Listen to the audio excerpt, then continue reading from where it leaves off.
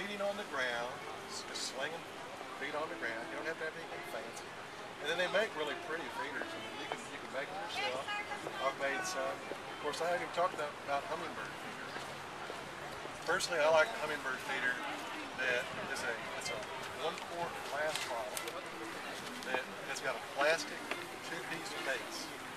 It's real easy to keep. You just pop the top off the base, and wash it. You don't have to put any kind of color in your hummingbird food. That's I don't know why that got started. I guess because hummingbirds are attracted to red. Well, they're attracted to all colors. too. They're attracted to nectar. So you just put, the ratio is like